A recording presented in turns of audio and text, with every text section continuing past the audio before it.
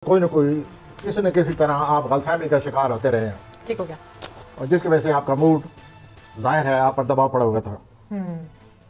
जो भी कौन से हजरात मा, कानूनी मामला में फंसे हुए हैं उनके लिए मेरे पास कुछ खुशखबरी है वो मामला हल हो रहे हैं।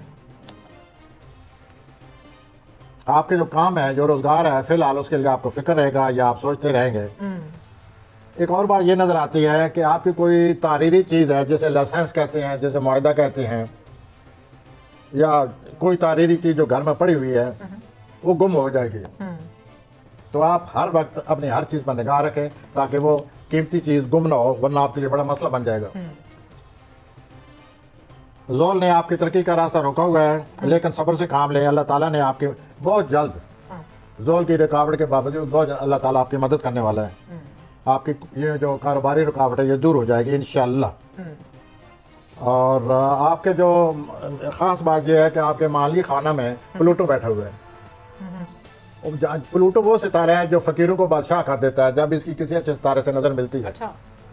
तो आप बड़े खुश नसीब हैं कि आपके माली मामला में प्लूटो बैठा हुआ है। इससे जब भी किसी खुशकस्म सितारे से नज़र मिलती है या मिलती रहेगी तो आपकी आपके पैसों की भरमार हो जाती है आपकी ज़िंदगी में बहुत ज़्यादा खुशकस्मती आ जाती है। सही हो गया। तो जब लोग कहते हैं ना फलां फकीर था अमीर हो गया है वो प्लूटो की वजह से होता है। सब लोग यही सोच रहे हैं कि प्लूटो की वजह से जब कोई अच्छी नज़र मिल जाए मुश्तरी की खास तौर पर तो ये इस किस्म के वाकत पेश आते हैं। अब मैं जद्दी की तरफ़ आता हूँ। कैप्रिकॉन की तरफ़। कैप्रिकॉन कौन रोक सकता है आपको? मामला माली मामला खराब था लेकिन इस हफ़्ते में आपकी आमदनी का कोई नया ज़रिया बन रहा है जिससे आप मुतमिन हो जाएँगे। और आप बहरहाल अपने माली मामला के मामले में और उनको समझने की कोशिश करें। एक बात जो अजीब नज़र आती है जो कि नहीं होनी चाहिए जो कि होनी भी चाहिए या नहीं होनी चाहिए वो ये है कि मोहब्बत होनी चाहिए लेकिन इतनी गहरी मोहब्बत नहीं होनी चाहिए जिसमें आप मुतला होने वाले हैं। जो सेल्फ कंज्यूमिंग होती है जिस इंसान अपने आप को जलाता रहता है। तो कोई इस किस्म की मोहब्बत आपके इधर आपके नक्शे माई पड़ी है?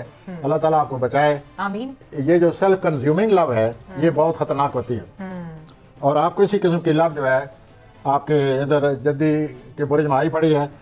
और अल्लाह ताला आपके लिए लव जो है ब्लेसिंग अल्लाह की रहमत और नेमत बनाए।